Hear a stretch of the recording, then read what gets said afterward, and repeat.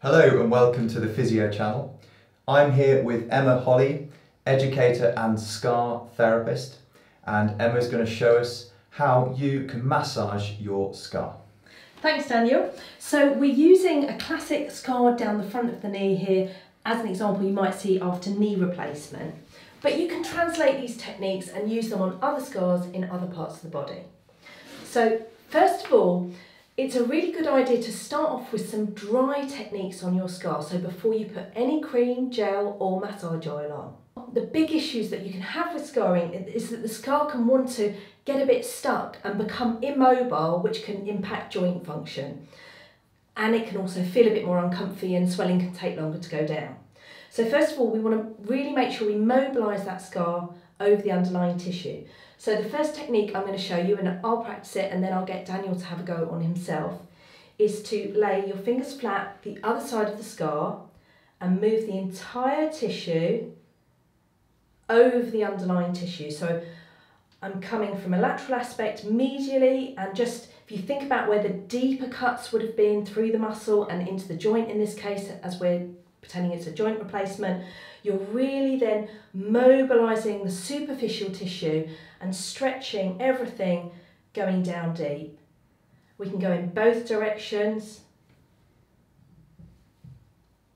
A little bit less movement in this direction naturally anyway. And then Daniel, why don't you have a go doing that technique? Okay. So Lovely. I'm starting on the outside of the scar, Yep, pulling it over as far as it will go. exactly. Okay.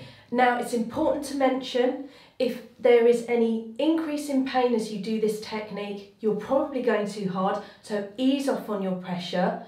You could start a technique like this once you have full new skin over the area, but go a bit more gently when you've got a new scar and then you can gradually build up to being a bit more robust with your movements as your tissue really starts to knit together. Now secondly, we've talked about the fact that particularly after knee replacements, over the patella and, and beneath it, you can get quite a bit of sticking. So the tissue becomes a bit immobile, a bit stuck to the tissues beneath it. So what we want to do is increase the lift. So this is going to be a squeezing technique away from the scar. And what you want to see is that scar line popping up. Start above the scar, hold for a second and release. And just work your way up and down. And if you find one bit is resistant, that it's a bit stuck. It's not about fighting with the body, just on repetition by doing it more and more over a number of days and weeks, hopefully you'll get some improvements. Would you like to have a go at that technique? So this is an example scar for a knee replacement, Yeah, but can you use these techniques from the video for other scars in other areas of the body? you definitely can. It's more easy for a patient to work on themselves Mm. when it's a knee replacement because you can get both hands around the scars more easily. Okay. If you had, let's say, somebody who's had a broken uh, fracture in their wrist and maybe they've got a pin or plate in there and they've got a linear scar on their arm, they'd have to adapt trying to use those similar techniques with only one hand, for Mm. example. Okay. Or you could ask a friend or family member to help you with that as well. How often should I do these techniques if I was doing them on my knee scar like this? Ideally, on every scar, it'd be great if people could massage them twice a day. So I tend to say morning and evening is really good. If you've got a scar in an area where, if you're sitting or standing, the muscles underneath are contracting, so that might be a scar through the abdomen, for example. If you're stood up, your tummy muscles will be slightly contracted. It's better to do the technique with you totally passive, so when you're lying down. Mm. So tends to be, I say to people, maybe before you get out of bed in the morning, do these nice sort of squeezings and mobilizations. because when you've got contracted muscles underneath, that can impact how easily the tissue moves.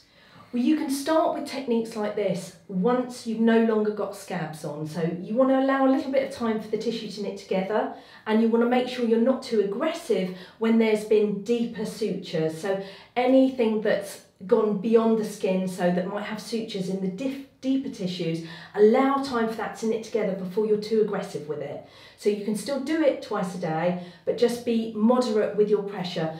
I find most people massage their scars too too robustly, that they're a little bit aggressive with them, and that isn't always what is best for the scar. So the third technique that I'll show you is just literally something you can do with your finger and work along the scar just get, again, it's all about watching that tissue move, making sure you see the scar line wiggle. That's what we really want to aim for. You can use multiple fingers, but by using a single digit, you actually get more movement in a small area. So you can just work up and down and anywhere you feel is a bit more resistant, just stay there for a little bit longer. Ideally, you should be massaging your scar between a minimum of two minutes up to sort of seven minutes per day, twice a day.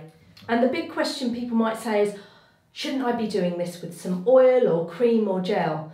And what you'll notice is once a lot of what I'm trying to do is to get tissue to move on top of the underlying tissue. And the minute you put a lubricant on there or an mm. emollient, you're actually sliding across the surface tissue, so you're less able to grip. So I tend to say fresh out of the shower, do, do your massage movements, and then it is very important to get that hydration on. You should be putting cream, oil, or gel on your scar at least twice a day. We need to really help look after that tissue to help it recover. So it does need some kind of moisturisation, that's really key, but it's not always helpful for when you deliver the massage. We've got some other videos we've been making about how to really enhance functional results. We have, so please have a look at those videos which should be appearing on the screen here. Thanks for watching the Physio channel and we'll see you in the next video.